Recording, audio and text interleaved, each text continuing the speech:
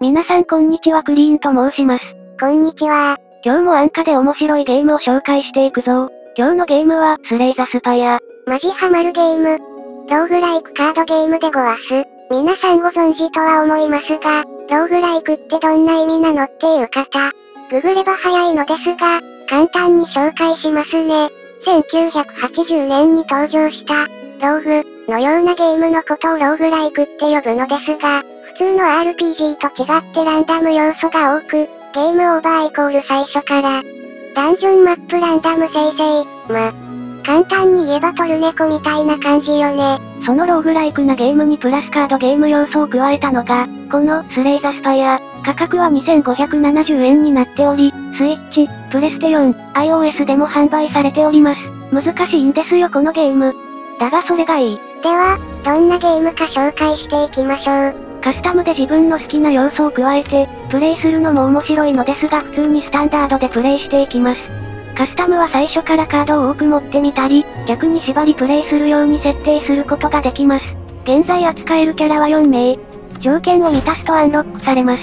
私は最後のキャラ解放がまだですが、この後アンロックできました。最初から解放されているこの、仮面騎士さんを使って遊んでいこうと思います。どのキャラも個性があってすごく面白いです。ぜひ皆さんも遊んでみてくださいね。PC 版だと最もたくさん出ていて、木の元桜にも慣れちゃいます。はにゃーん。さて始まりますよ。簡単にこのゲームのルールを紹介していきましょう。このゲームはターン制になっていて、カードを使って攻略していくのですが、カードの内容が様々かなりの数があって、組み合わせて使っていくのが基本です。結構頭を使うゲームですねマップはこのように選んで進んでいくのですが、好きな場所に行けるわけではなくて点線に沿って進んでいきます。ハテナマークはランダムイベント、焚き火は休憩できたりカード強化したりできるポイント。角が生えているモンスターマークはエリートモンスターになっています。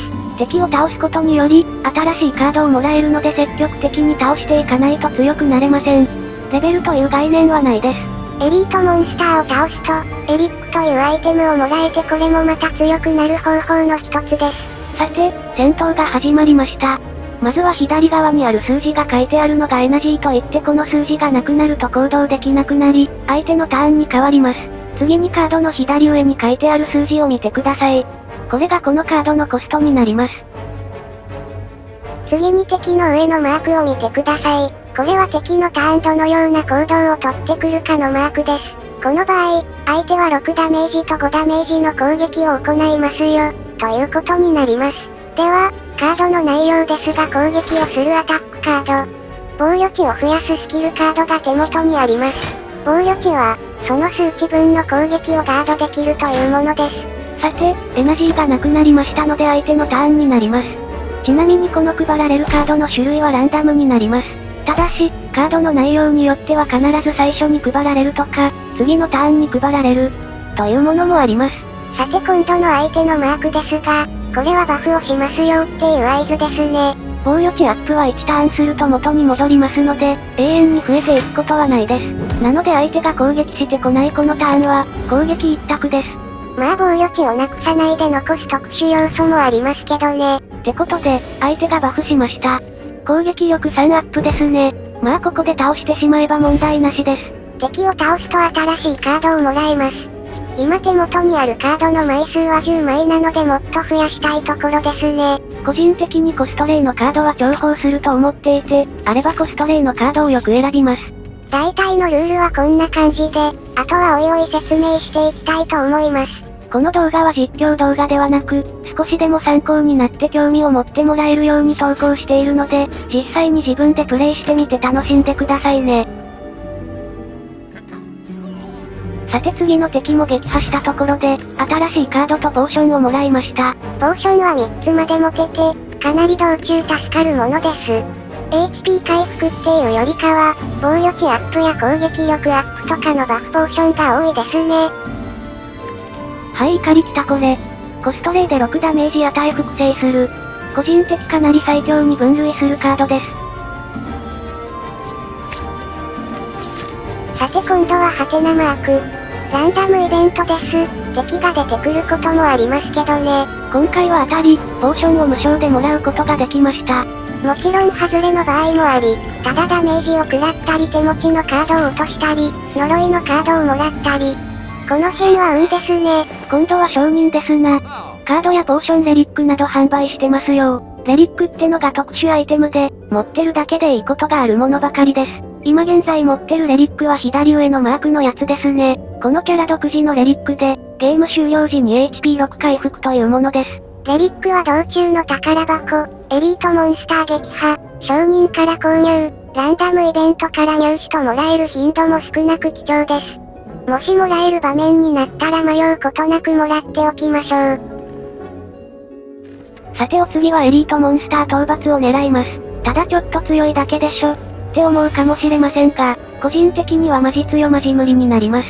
行くかどうかかなり迷いますが、今後のためには行かないとダメなのです。なぜなら、ボスがかなり強いからです。道中できるだけいいカードや、レリックを引いていかないとボスでやられてしまいます。さてこの赤鬼さんを倒すことができるか、ポーションがいい感じに揃っているので、勝てる見込みと思いまして挑戦してます。うわ激おこやん。この激おこ、スキルカードを使うと相手強くなってしまうんよね。スキルカードは防御値アップとかのカードのことです。敵の攻撃14ダメージじゃん。防御しようとするとさらに強くなっていくんよね。ここは肉を切らせて骨を立つ戦法一択。ダメージを食らいながらも撃破していくしかないですな。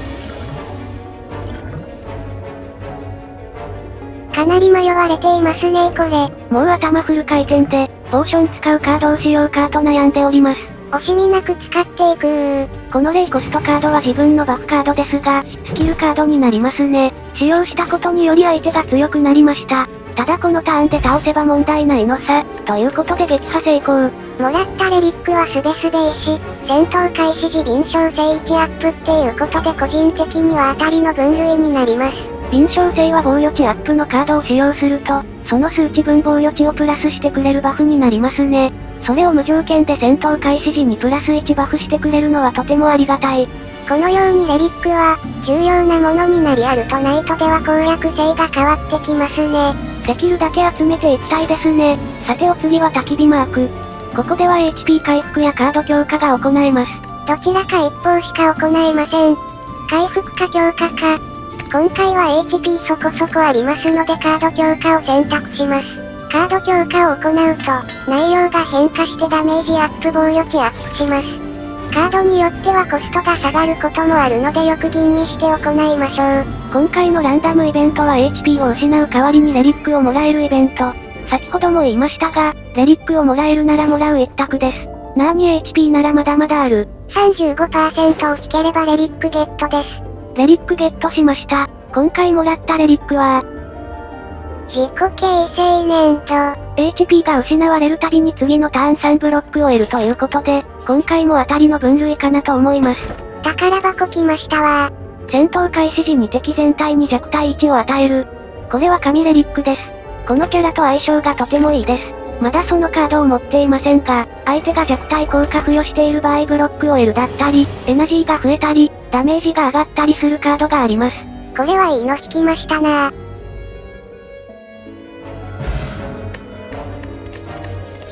さあ先ほど言っていたカードが左側のカードですね。5ダメージ与えて、敵が弱体化入ってる場合はエナジー1を得てカードを1枚引く。実質このカードのコストレイということと、このカードを何枚も持っていれば何回も攻撃が可能ということです。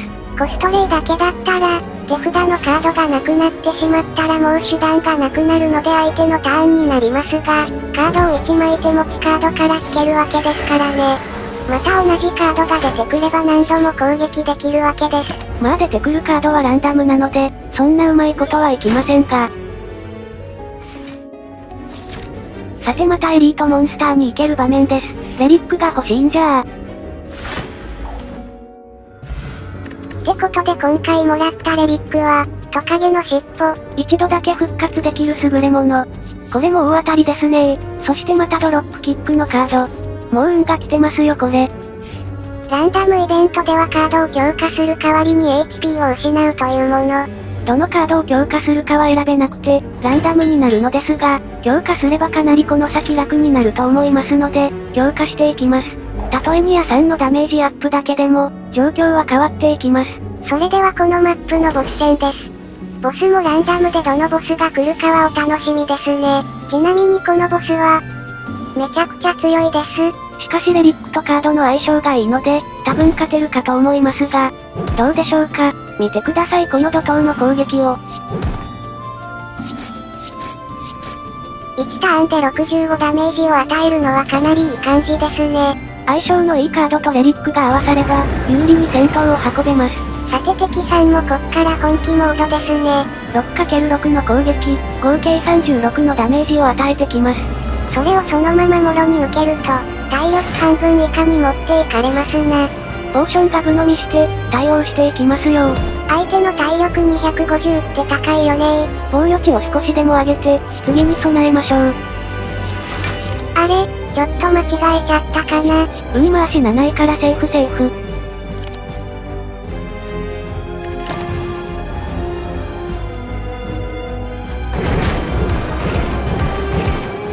かなり食らったわね。敵の次の攻撃は6ダメだけ。次同じような攻撃が来たら死にますなこれが母。ちなみにボスを倒して次のマップに行けば、体力は最大値まで回復します。今回は防御値23あるのでノーダメージで過ごせます。このやけどっていうのがまた厄介で、手持ちカードの中にやけどカードが入ってきます。手札カードが減るっていうことですね。さらにターン終了時に2ダメージを食らうという、このカードが3枚ぐらい手札に入った時は発狂もんですよ。さて相手は 5×2 の合計10ダメージです。守ってばっかりも勝てないので、どんどん攻めましょう。お気づきの方もいらっしゃると思いますが、このボス攻撃回数が増えていき最大は6回攻撃。早く倒していかないと自利品になります。敵の周りに緑色の光が灯ってますがあれが増えていくと攻撃回数も増えていくのです。ポーションも切れたしあとはどのカードが配られるか、いい組み合わせのカードが出てくればって感じですね。あちちまたやけどしたわ。相手の行動はバフとブロック。ガンガン攻撃していきますよ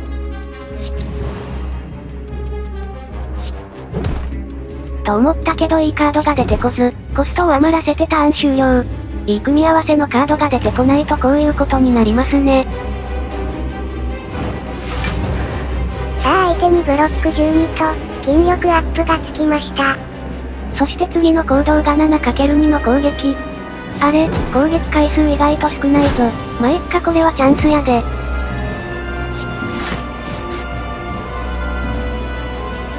敵の体力18にまで減りました。これで次のターンにカードが来れば撃破できそうです。ふ。勝ったな。ということで序章、はじめのボス撃破です。ちなみにレベル3まであってさらにボスが強くなっていきます。カード強化やレリックを入手して挑みましょう。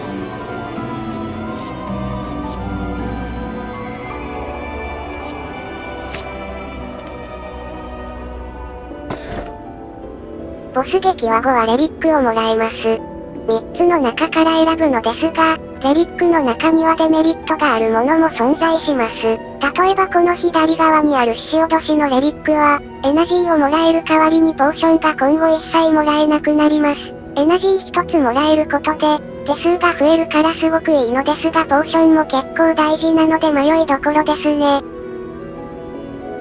うーむ。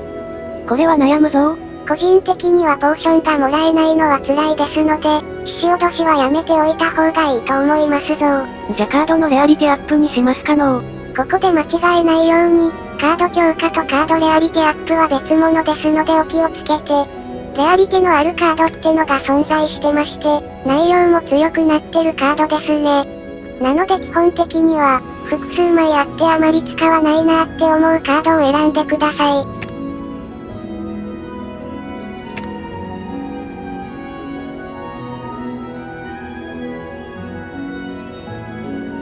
カード変化と、カード強化までついてくるお得なレリックですな。手持ち札の確認で、どんなカード効果あるのか確認するのも攻略の一つですぞ。今あるレリックと、キャラの特性を活かしたカードを持っていれば攻略はぐっと楽になります。ちなみにこの動画で撮影したプレイは、最後のボスまで倒すことができました。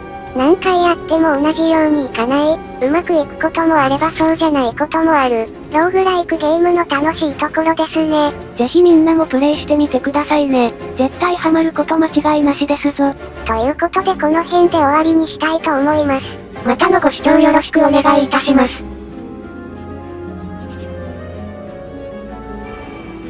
最後までご視聴ありがとうございました。これからもどんどんおすすめのゲームを紹介していきますわよ。またこれが面白いとかおすすめなゲームがあったら教えてください。一ゲーマーとして遊んでみたいのです。それではまた次回の動画でお会いしましょう。